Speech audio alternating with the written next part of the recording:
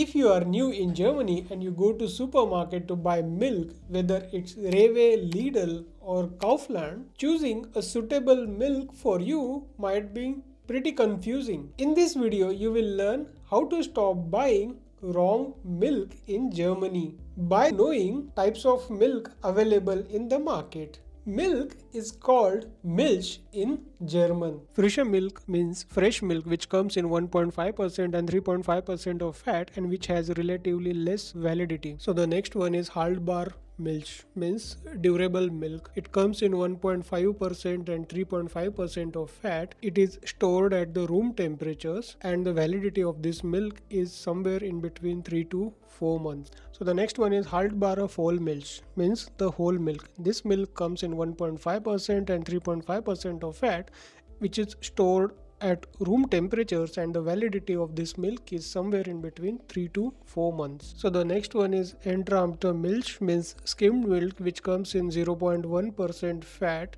It can be also stored at room temperature and the validity of this milk is also somewhere in between 3 to 4 months. Next one is plant-based milk which comes in 1.8% of fat and which can be stored at the room temperatures like the other milks and the validity of this milk is also somewhere in between 3 to 4 months.